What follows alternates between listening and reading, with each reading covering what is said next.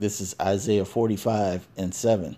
It says, I form the light and create darkness. I make peace and create evil. I, Yahweh, do all these things. I like to give all glory, honor, and praises to Yahweh, Bahashem, Yahweh Shai. Double honors to the apostle elders, a Great Millstone who rule well. And salutations to all you brothers out there pushing this word in love, truth, sincerity, and humility. Once again, it's the brother Shatir from the Chicago camp coming back to you. What I hope is another quick and edifying sit down. And this precept was inspired by a story that I found on the interweb, and it's from the Baltimore Sun, and it's entitled "Father of Unborn Son Charged with Killing Pregnant Woman and Toddler, Leaving Them in the car in Southwest Baltimore."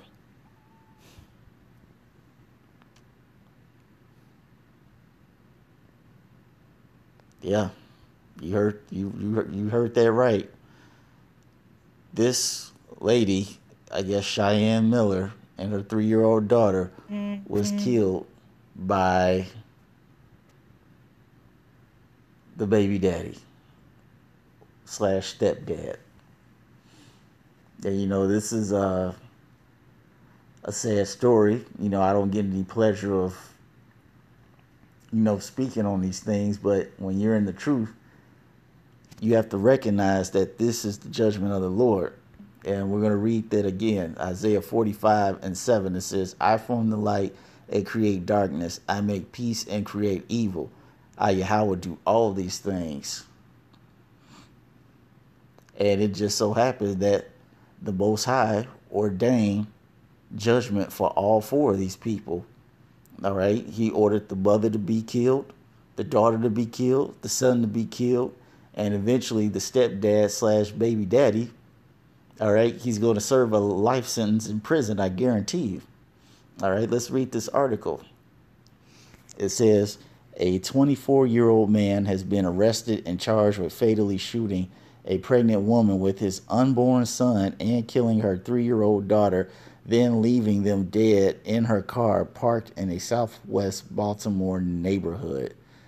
Devon Sample, who lives with his grandmother in nearby Beechfield, gunned down Cheyenne Miller while she was eight months pregnant with his baby, police wrote in charging documents. Sample also allegedly shot and killed her three year old daughter, Shania Gilmore. Wow. Mm. Let's just get to the meat of this.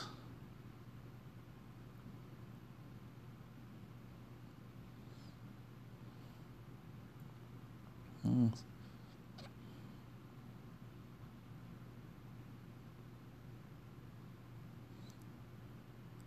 Let's see. Sample was arrested and taken for a police interview. Officers also recovered surveillance cameras from the crime scene the footage showed that around 11 p.m. Thursday, a black BMW pulled into the block, followed by Miller's Subaru. Officers wrote that the BMW was registered to Sample and they saw it parked Friday near his home. On the surveillance camera footage Thursday night, someone exited the BMW, went to the Subaru. A muzzle flash is observed from within the victim's vehicle. Officers wrote a second muzzle flash is observed outside of the driver's side of the vehicle. Then the BMW drives away, leaving the Subaru. When interviewed by officers, Sample initially denied being present at the scene, police wrote. Then they confronted him with the video and he admitted to driving the BMW, parking at the scene, and sitting in the Subaru with Miller and her daughter. However, Mr. Sample claims he got into the car, left the area, and never saw the victims again, officers wrote. Ah, yes this fine, upstanding gentleman. Here he is. They are charged him with first degree murder of the deaths of Cheyenne Miller and her daughter, Shania.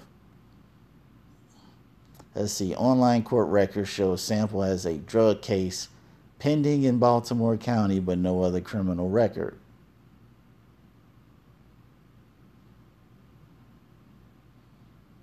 And then, of course, it's the background story with the daughter and the granddaughter.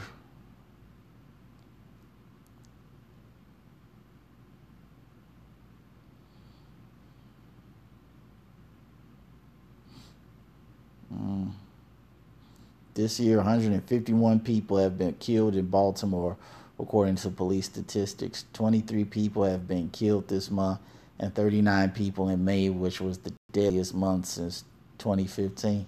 Yeah, that's why they call Baltimore. Be more careful. All right. But yeah, there you have it. All right. You know, it's one of those things where a lot of these situations a lot of these situations can be avoided if there was a man with wisdom inside the house, some type of instruction.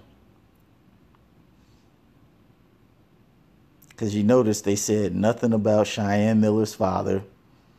They said nothing about, uh, what's that, uh, Mr. Uh, Sample. They said nothing about him having a father.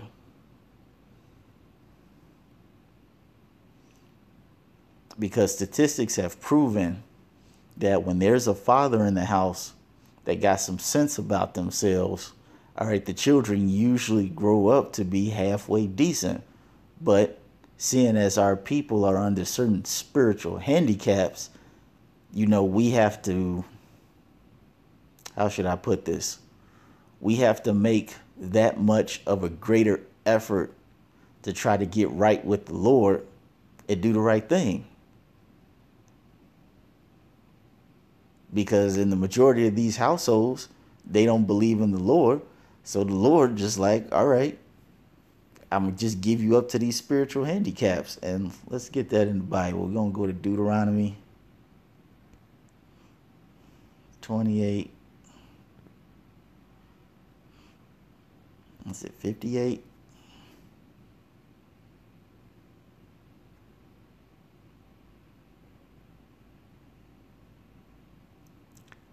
All right, Deuteronomy 28 and 54 says, So that the man that is tender among you and very delicate, his eyes shall be evil toward his brother and toward the wife of his bosom. Now that's very evil. For one day to just wake up and just say, you know what? I'm going to kill my baby mama. I'm going to kill her daughter. And I'm going to kill my unborn son. Or should I say murder? That's not killing, that's murder. All right? That's very evil. It takes a very evil person not only to take the life of somebody for will will for the for my explanation, we'll just give her the benefit of a doubt and just say no reason even though the scripture always says nobody perish being innocent. But let's just say for no reason. All right? It takes an evil person to do that to somebody else. Not only that, to the woman that's carrying your son.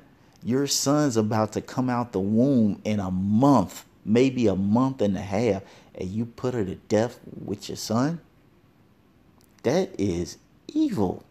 And so it says his eyes shall be evil toward his brother and toward the wife of his bosom and toward the remnant of his children which he shall leave. That child didn't stand a chance.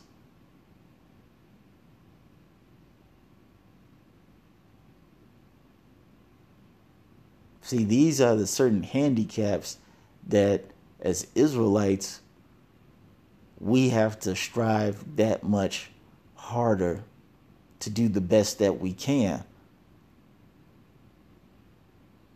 Because as you can clearly see, when there's no man in the household, these type of things happen. You have children that grow up with no instruction and they're out of order and they grow up as adults and they have absolutely no understanding. See, if there was a father in the household with this woman, okay, she would know that, you know what, something's not right with this Mr. Sampler guy. Maybe I ought to just leave him alone.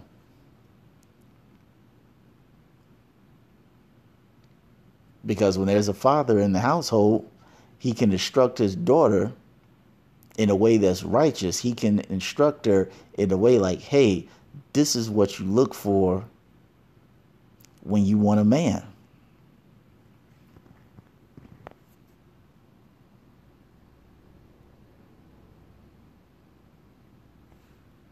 But when there's no man, this is what happens. Two, three generations of women with no instruction. Just like on the other hand, you got two, three generations of a single mother household with boys, and then you have boys that physically grow up to look like a man, but their emotional makeup is of a woman because they had no instruction.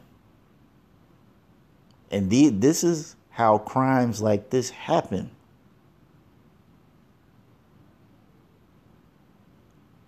No fear of the Lord, no instruction, no wisdom on how to go about life. That you know what? That's why it says. Let me uh let me get that, and I'll end it on this.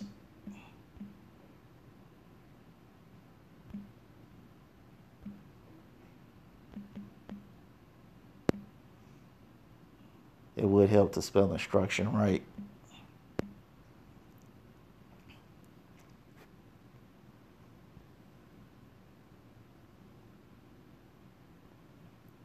See.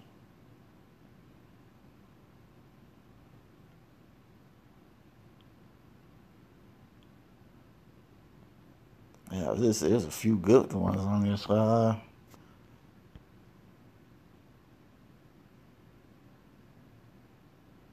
Let me get Ecclesiasticus 1 and 27. Why isn't why not?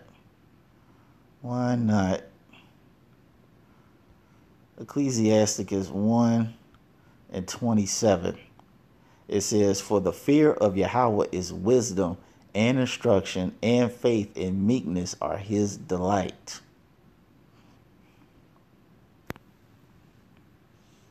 So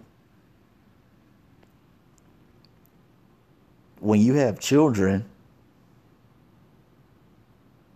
that are brought up under the wisdom and guidance of Yahweh Bashem Yahweh Shai, and there's a man in the house to teach them these things, you're not going to get these results. You will have people that are raised in the way that they should. Even the scripture says that uh, train up a child. Yeah, I thought I was going to end on that one, but nonetheless, train up a child.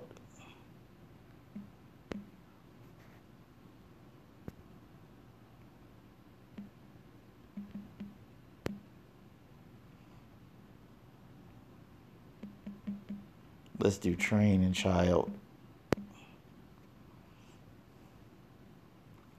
Proverbs 22 and 6. And it says, Train up a child in the way he should go, and when he is old, he will not depart from it.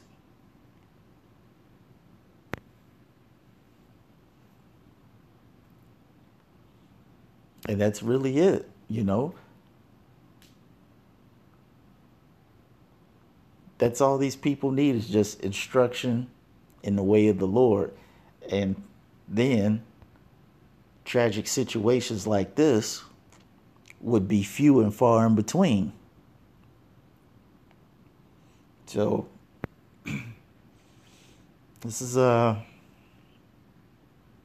you know it's sad to hear uh, of stories like this but you know it is the judgment of the Lord and it's one of those things that when you come into the truth this is uh this is one of those things that could create a huge stumbling block. And if by chance this does present itself as a stumbling block to you, please just pray to the Lord that He gives you the understanding and wisdom to know that, as I said before, this is all His will. This is not uh, our show. This is the Lord's show. And what He says goes. So that's all I wanted to say on this. Uh, once again, giving all glory, honor, and praises to Yahweh, Bahashem, Yahweh Shai. Double honors to the apostle elders of Great Millstone who rule well, and salutations to all you brothers out there pushing this word in love, truth, sincerity, and humility. With that, we're going to say shalom.